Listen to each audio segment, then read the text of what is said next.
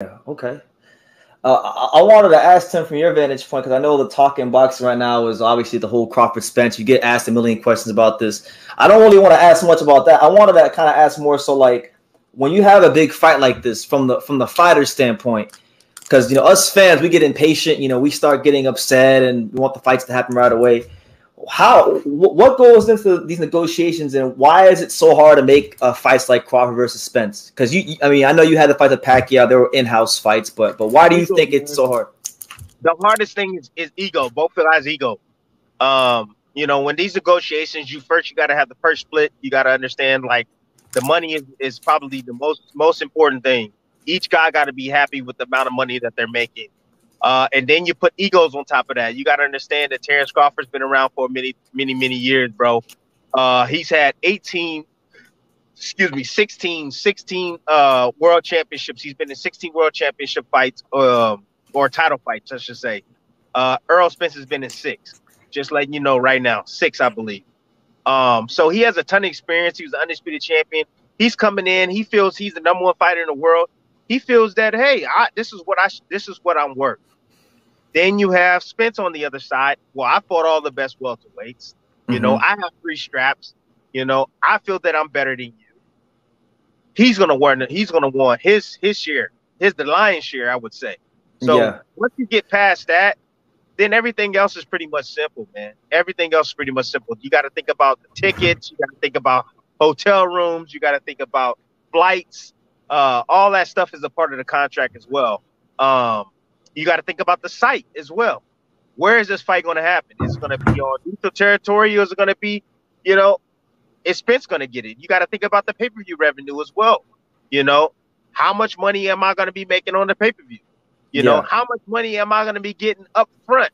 Because you have a guy that has like $20 million, right? He has a $20 million guarantee.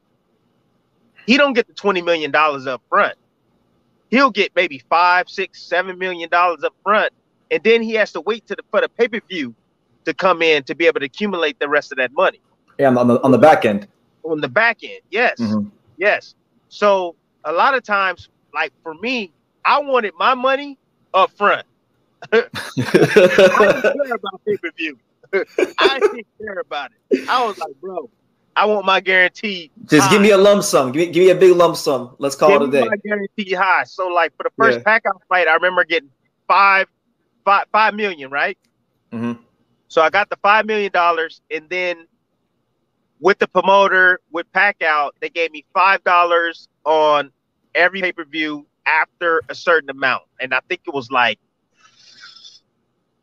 I think it was like seven hundred thousand after seven hundred thousand buys. But see, where they get you is USA buys. Oh, USA buys. That's where they count all those buys from the Philippines that he. Yeah, know. they don't count all of that. You know what I'm saying? So you got to be careful with that. Is USA buys? I didn't know that at the time. So I'm like, okay, five million dollars, five dollars after seven hundred, no problem. Well, I don't think it sold, you know, seven hundred US.